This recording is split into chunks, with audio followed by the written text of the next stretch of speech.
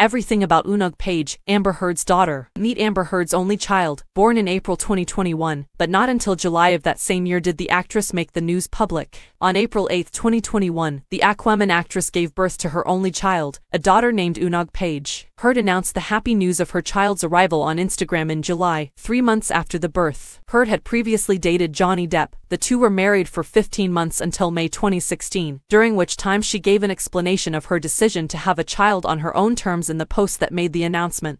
I made the decision to become a parent four years ago. She wrote, I wanted to do it on my own terms. She went on, mentioning surrogacy as her route to parenthood, saying, I now appreciate how radical it is for us as women to think about one of the most fundamental parts of our destinies in this way.